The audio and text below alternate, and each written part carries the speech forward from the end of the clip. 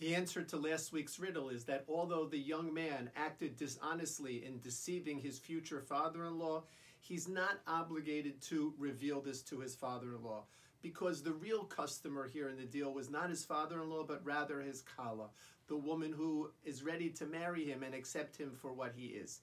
The halacha, though, does say that should the father in law praise this young man for his outstanding uh, abilities that seem to come from these notes that the young man borrowed. So the young man should demur and explain to his father in law that probably things are not just as they seem. Shabbat Shalom.